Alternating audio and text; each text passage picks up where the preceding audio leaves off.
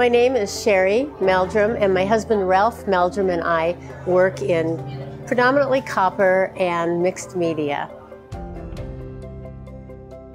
Probably my very first introduction into art was a painting my grandmother had in her living room that was a landscape that always drew me in, and I always wanted to go to that place. And, and then I uh, went to college I am trained, uh, originally trained in doing interiors and interior architecture because I didn't think anybody would ever pay me to be an artist. So now I am, um, so in college I really got exposed to art, studied art. After I got my degree in interior design, I did eventually go back to college and study art and ended up studying art at the school, Mendocino School of Art. So that was my draw into it, and now I'm so happy that I'm doing that. And then my husband Ralph joined me.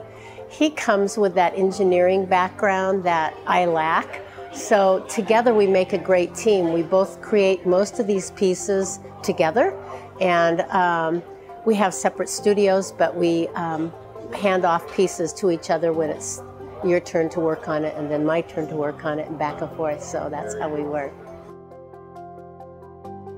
My art has evolved over time. I think you draw on past experiences. So many years ago, I, I did a lot of textile arts and I was a weaver and I did, um, I had a big loom and did a lot of weaving. And I think now I'm, I'm working mostly in copper and I'm weaving the copper, which is really fun. And I think like that's how art evolves. You draw on your past experiences. I uh, find inspiration in nature. I find inspiration in the materials that I work in. Copper is a bit unpredictable, and uh, sometimes it takes its own path with and I kind of have to go with it. So it also inspires me because it's so much fun and copper is such a rich, warm metal to work in.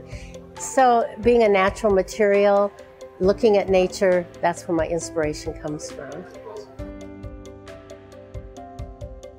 What drew me to the Celebration of Fine Art is that it is a very highly juried show and the quality of the art here and also the promotion that they do here. Um, Susan and Jake do a great job of promoting this show, which helps us all be very successful. And I think anybody who is an artist that would be interested in doing this, they should apply. It's a wonderful experience. And as customers, you need to come and experience it. It's a, it's a situation that you don't see often in many art shows we have artists working in their crafts so you can watch it being made, which is really fun, and you don't often get to see that.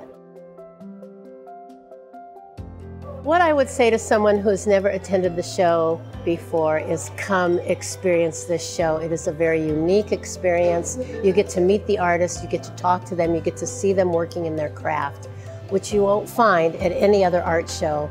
And there are a hundred artists in this tent so the variety of mediums is huge and it's a wonderful experience. Don't miss it.